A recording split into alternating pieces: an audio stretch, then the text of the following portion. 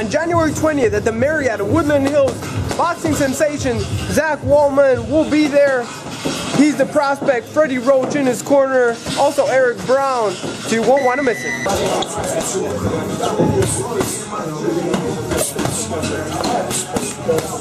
So how you doing today, man? Good. I'm just getting ready for my fight with uh, Tatsuro Iri on January 20th. I've seen him fight. He's not bad. You're fighting January 20th, Woodland Hills Marriott. That's right. What is it going to take for you to win? Uh, just train hard, and you know I'm gonna listen to Freddie Roach and Eric Brown, and you know I got Paulie Malignaggi in my corner, and uh, Is Paulie here today? no, Paulie's not here today. You got to bring him. No, I came alone. I just came to train, get a little Sunday shakeout, check my weight, get ready to fight. That's it. Outlaws Boxing, the only gym that I know that's open Sunday. That's what. Here I am. You know what? But I grew up in Outlaws. Uh, I came here when I was 14, so was at Outlaws from like 14 to 19, and then I went over there with uh, Freddie Roach. Hey, what, what have you done working out today? Or you just No, started. I'm just, I'm just getting. all right, good. I want to get you hitting the bag. I want to get you working out. All right, all right, all right. So everything's good. What did, what did you make of that fight of Luis uh, Ray Beltran, Luis Ramos? You know what? I'm biased. I, I went there to see Beltran, so what am I gonna say? I th- I felt like Beltran was on the B side, and you have to do a lot to win from the B side.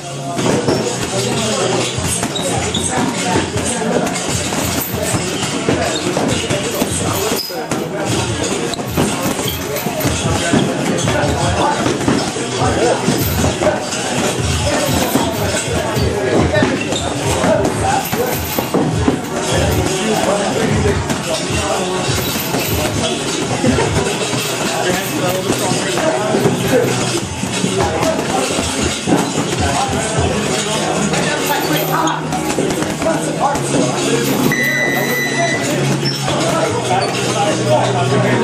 Why do you love boxing so much?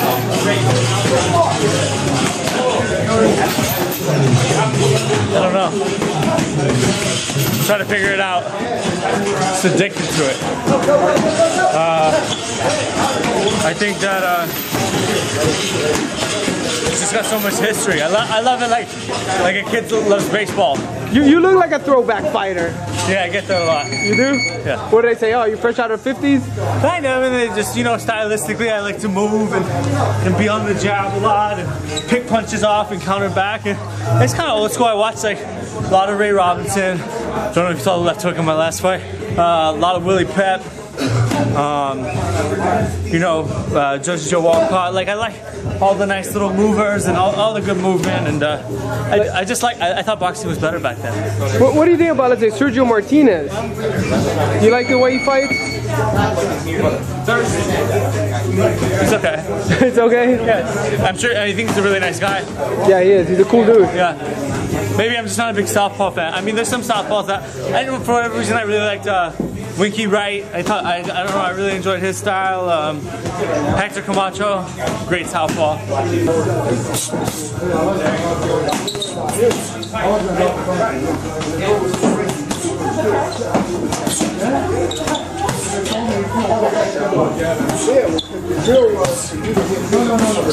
And the last thing, break down some of your tattoos you have. Here's the wolf, your old nickname, right? No, no, no, no. That's just a. Uh, this is a tattoo I got out in uh, New York, but I like it.